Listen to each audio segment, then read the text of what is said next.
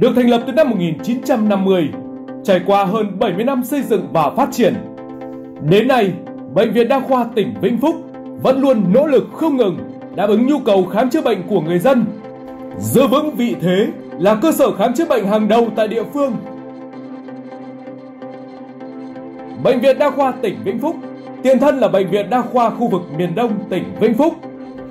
Được thành lập trực thuộc Ty Y tế Vĩnh Phúc. Thời kỳ này, cả Ty Y tế và bệnh viện chỉ có 20 cán bộ, trong đó chỉ có một y sĩ và 19 y tá. Từ tháng 9 năm 2017 đến 30 tháng 4 năm 2023, để phục vụ công tác phá rỡ, xây dựng công trình bệnh viện mới theo quyết định của Ủy ban Nhân dân tỉnh. Bệnh viện Đa khoa tỉnh Vĩnh Phúc di rời sang hoạt động nhờ tại Bệnh viện Phục hồi chức năng tỉnh Vĩnh Phúc. Đây là giai đoạn khó khăn và nhiều thách thức khi bệnh viện phải cơi nới, sửa chữa, xây dựng cơ sở bệnh viện chuyên khoa phục hồi chức năng để phù hợp với bệnh viện đa khoa, đáp ứng nhu cầu khám chữa bệnh của người dân. Trong suốt 3 năm chống dịch Covid, đội ngũ lãnh đạo, cán bộ, nhân viên y tế Bệnh viện Đa khoa tỉnh Vĩnh Phúc giữ vai trò là nòng cốt, là đơn vị chủ đạo trong việc quản lý và điều trị bệnh nhân Covid-19 tại Bệnh viện Giã Chiến số 1, cơ sở 1 và cơ sở 2. Đồng thời hỗ trợ tích cực cho các tỉnh lân cận như Hà Nội, Bắc Giang. Với những thành tích đã đạt được, Bệnh viện Đa khoa tỉnh Vĩnh Phúc vinh dự được Chủ tịch nước tặng huân chương lao động hạng 3 năm 2006, hạng nhì năm 2010, hạng nhất năm 2015 cùng nhiều cờ thi đua và bằng khen của chính phủ, Bộ Y tế, Ủy ban nhân dân tỉnh Vĩnh Phúc. Nhiều đơn vị, cá nhân xuất sắc được tặng bằng khen, giấy khen của Thủ tướng Chính phủ, Bộ Y tế, Ủy ban nhân dân tỉnh. Được sự quan tâm của Đảng bộ, Ủy ban nhân dân, ngành y tế tỉnh ngày 4 tháng 5 năm 2023, Bệnh viện Đa khoa tỉnh Vĩnh Phúc chính thức về nhà mới tại địa chỉ số 1 Tôn Thất Tùng, phường Liên Bảo, thành phố Vĩnh Yên, tỉnh Vĩnh Phúc với diện tích 4,9 hecta, mở ra một thời kỳ mới trong lịch sử phát triển của bệnh viện.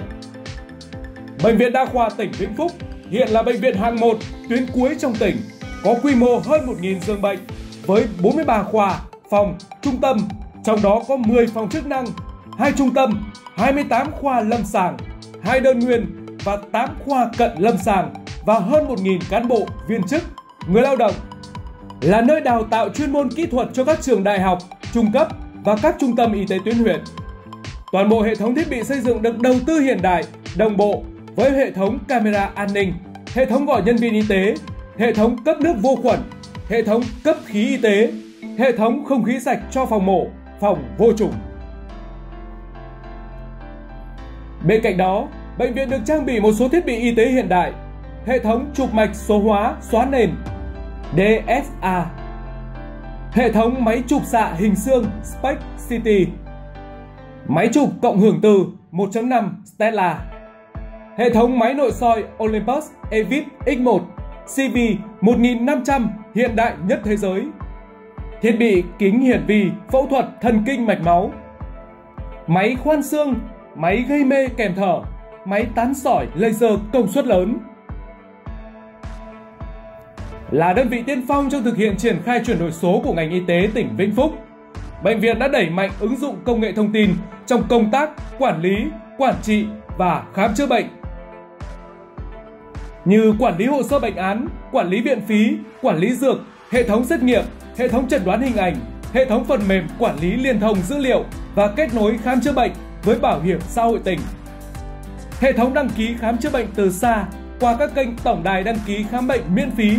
1800 969626 qua website, qua app được triển khai đã mang lại lợi ích to lớn cho người dân, góp phần tăng sự hài lòng của người bệnh.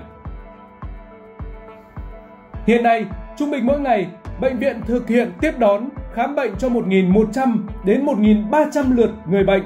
thu dung điều trị 1.200 lượt người bệnh. Sau 3 tháng hoạt động tại cơ sở mới, từ tháng 5 đến hết tháng 7 năm 2023, bệnh viện đã thực hiện được 69.714 lượt khám bệnh, điều trị nội trú là 16.484 lượt, phẫu thuật 3.462 ca.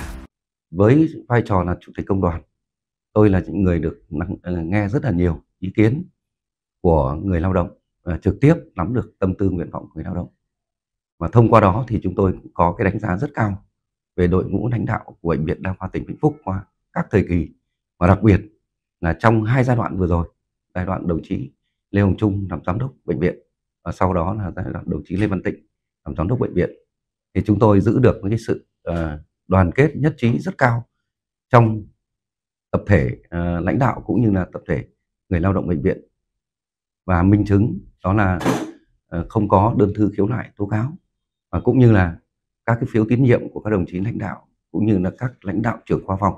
đều đạt rất là cao. Thời gian tới với phương châm chào sức khỏe, vững niềm tin, tập thể cán bộ thầy thuốc nhân viên y tế bệnh viện đa khoa tỉnh Vĩnh Phúc sẽ tiếp tục phát huy những thế mạnh của bệnh viện, đoàn kết dưới sự lãnh đạo của Đảng bộ, ban giám đốc và các đoàn thể, hoàn thành xuất sắc mọi nhiệm vụ được giao, tiếp tục xây dựng bệnh viện đa khoa tỉnh Vĩnh Phúc trở thành địa chỉ khám chữa bệnh hàng đầu của ngành y tế Vĩnh Phúc và trong khu vực.